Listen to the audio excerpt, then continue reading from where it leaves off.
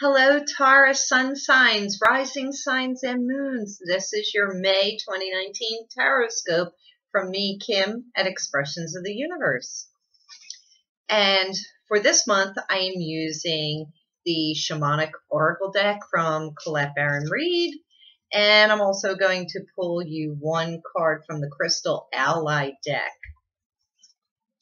to see what we have in store. So this month we have for May a new moon in Taurus on May the 4th. So it's your new moon. It's time to make your new moon wishes and it's all about what we're manifesting.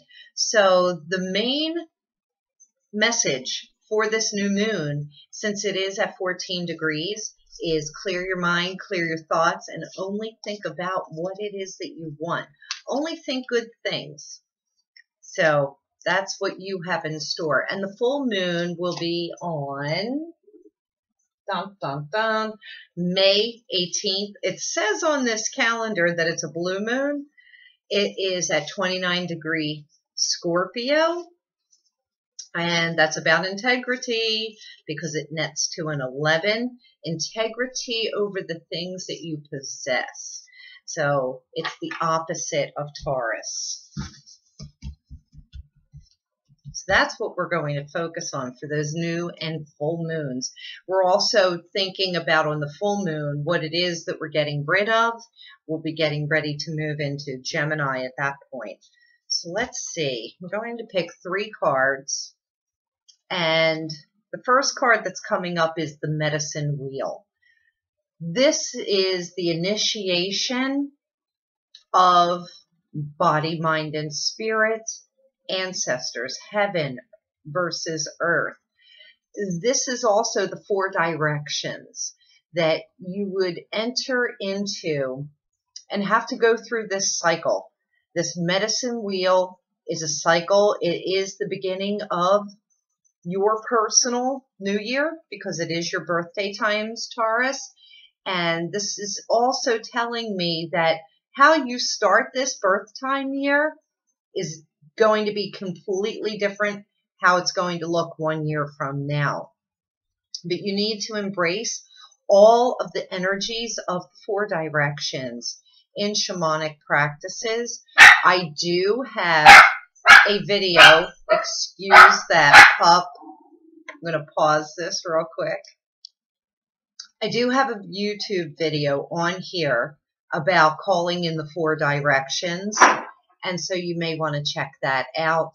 And I'm pretty sure I also have a companion blog for it. The next card that I am seeing for you, it is the lower world. So in shamanic practices, and the reason why I'm choosing these shamanic cards is because it's so earth based, it's so Mother Earth Gaia based, and that's what Taurus the Bull is.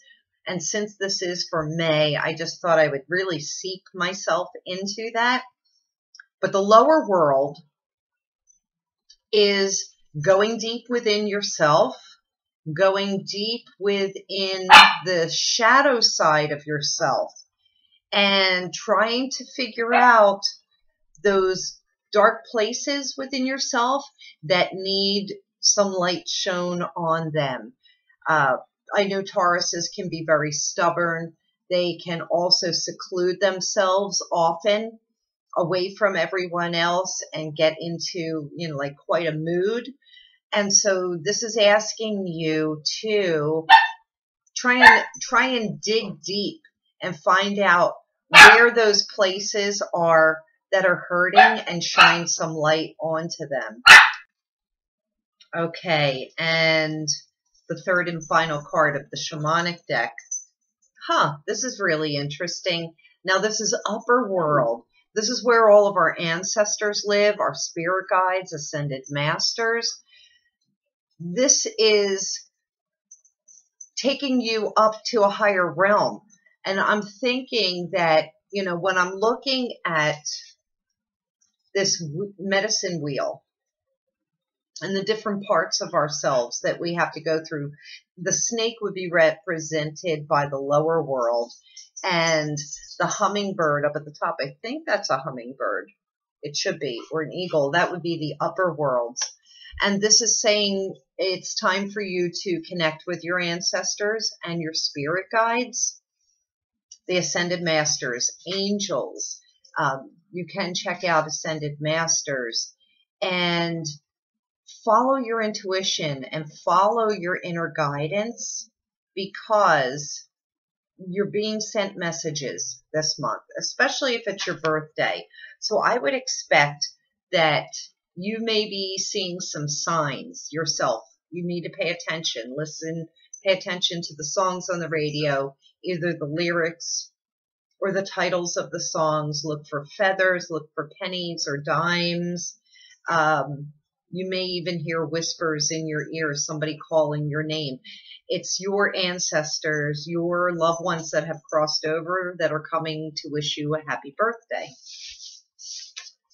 All right, and the crystal ally card, the crystal you need to work with for the month of May, Taurus, sun signs, rising signs, and moons is